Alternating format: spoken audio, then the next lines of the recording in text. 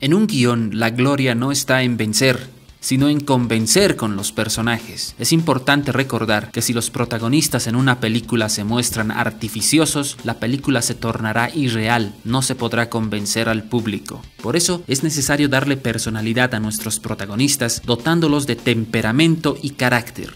El temperamento es la dimensión innata de la personalidad, pertenece al ámbito de lo somático y de lo inmediato, no se escoge, lo presta la naturaleza a través de la biología y la genética. La ventaja del guionista es que como un ente todopoderoso, este decide qué tipo de equilibrio emocional tienen todos los personajes en una película mediante los temperamentos hipocráticos y los arquetipos psicológicos. El carácter es la huella, la marca, que deja en la personalidad los actos libres de un individuo y la educación recibida, sus virtudes, vicios, sus hábitos. Estos componentes, el guionista debe insertarlos de forma coherente en el arco de transformación de los personajes. También es importante que el guionista se pregunte si es necesario hacer cambios en los arcos de los personajes, sean estos principales o secundarios. Recuerda, un personaje estará bien construido si posee una base temperamental y un carácter determinado. Pero eso no quiere decir que el personaje se limite a ser un perfil o una ficha psicológica. Estos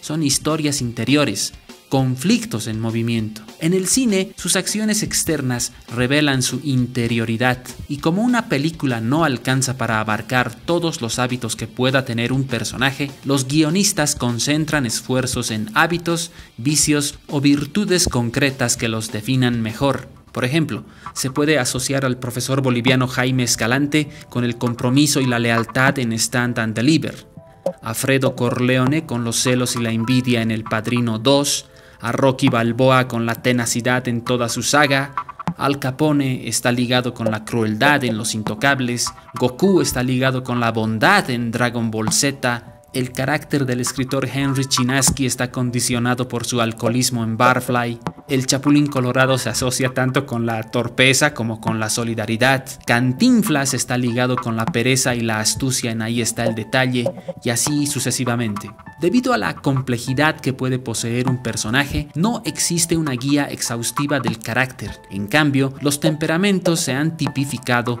desde los tiempos de Hipócrates. Son guías bastante útiles para edificar personalidades en el campo cinematográfico y se expondrán en el siguiente video. Datos tomados del libro Estrategias de guion cinematográfico de Antonio Sánchez Escalonilla.